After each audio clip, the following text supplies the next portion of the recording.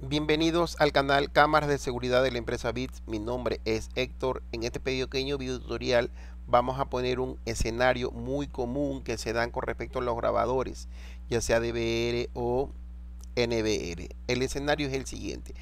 Normalmente tú estás viendo las cámaras, viendo las cámaras, ¿no verdad? Ya sea en el celular o sea a través del PSS y se te va la señal se te va. Entonces quieres acceder a través del celular y te sale tiempo de espera agotado o tienes el programa PSS y en la parte superior derecha tú ves que ya no hay comunicación. Ojo, no hay comunicación. Cuando veas el más significa que sí se están enlazando. Entonces llamas en este caso al, al, proveedor que te vendió el kit de las cámaras, te instaló las cámaras y él te comenta y te dice no hay internet. ¿No verdad? Entonces, ¿tú cómo compruebas que verdaderamente el problema es el proveedor de internet o el problema es el instalador que te hizo, la persona que te asesoró a poner las cámaras? Entonces, el ejemplo es sencillo. Tengo el router, puede ser una antena, puede ser un modem, cualquiera, llega al ruteador, ¿no verdad? Y ruteador tiene una dirección IP que te la da el proveedor de internet y se comunica a través de un cable al DVR o el NVR que tiene su propia IP privada. El proveedor de internet le asignó un IP. Cuando tú estás pagándole un IP, ya sea NetLight, sea Claro, etcétera, una de las formas como se puede hacer, la más común, es que venga y te ponga la dirección IP pública fija, es en el ruteador. Y viene el técnico y lo que te hace es como puentear o unir para que se comuniquen entre los dos, ya sea a través de la apertura de puerto o de meseta. Pero esa no es la parte de esta práctica. Entonces, ¿qué es el PIN? El PIN es una prueba para verificar si el equipo está operativo. ¿Cómo tú sabes si el router en este caso está prendido, está funcionando, tiene internet? ¿Estamos claros? Entonces, el PIN comprueba el estado de comunicación entre, la entre el computador el router. Entonces, ¿qué es lo que tengo que hacer?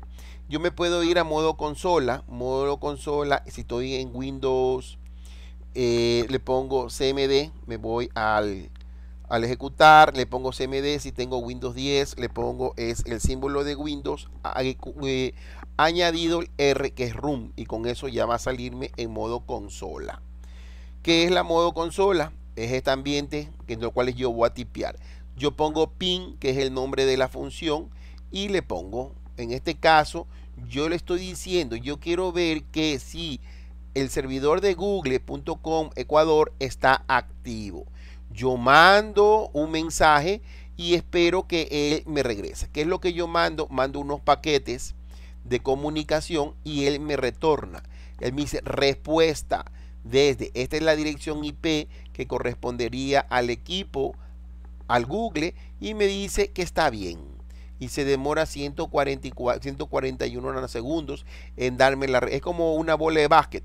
Golpeo con la pared y tiene que regresarme el balón. Eso es lo que estoy haciendo. Tiro el balón en la pared y me regresa el balón. Y me dice, yo te envié cuatro paquetes de prueba, recibieron cuatro, ¿verdad? Y se perdieron cero. Eso es lo que está diciendo, ¿verdad? Entonces, en mi caso, en este caso, yo viene el proveedor de las cámaras y te dice, ¿sabes qué? No hay internet. O el equipo está apagado, o la dirección IP está desactivada, o te cambiaron la IP. Pero en todas formas, la comunicación entre el router y el DVR no existe. Entonces tú pones de igual manera PIN y pones aquí la dirección IP pública estática que tú estás pagando, sea 2 dólares, 1 dólar, 10 dólares, viendo el proveedor de internet, y se te sale tiempo de espera agotado para esta solicitud. Por eso que tú, cuando estás en, la, en el celular, te sale el mensaje y te dice tiempo de espera agotado, que es exactamente igual nombre que te sale aquí. Tiempo de espera agotado a solicitud, te dice envié cuatro pelotas, recibieron cero pelotas y se perdieron las cuatro pelotas. Quiere decir que tú enviaste cuatro paquetes y nunca te regresó nada. De esta forma, tú te das cuenta de una manera sencilla si el problema es en las cámaras, ¿no verdad? En el router, el problema es, perdón, el problema es el proveedor de internet o el problema viene a ser es de la persona que te instaló el equipo. En el DVR, por ejemplo, que se hubiera pagado el DVR, está bien, pero no tiene nada que ver porque por lo menos si tú le haces pin al router, ¿no verdad? Al router está antes del DVR, antes del DVR.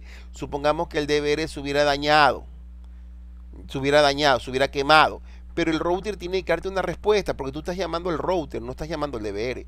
Entonces, si este señor no funciona, aunque esté la key perfecto, nunca se va a comunicar.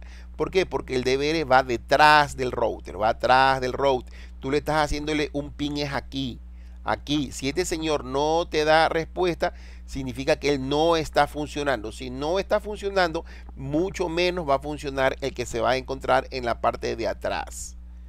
Entonces, ¿qué es lo que estás haciendo? Mandas al cliente, puede ser una computadora, una lacto, cualquiera. Mandas unos paquetitos, ¿no verdad? Unos paquetitos. Puedes llegar a una computadora, a un servidor, puede ser un NVR, puede ser un DVR. Y él, o puede ser un router, ¿no verdad? Él responde. Él responde. Por eso era que te comentaba, por ejemplo, cuando está en Google, te dice, he enviado cuatro paquetes, recibieron cuatro y, he perdido cero. Espero que te parezca algo sencillo. No se olviden que nosotros instalamos, vendemos, configuramos y asesoramos sistemas de cámaras de seguridad. Gracias.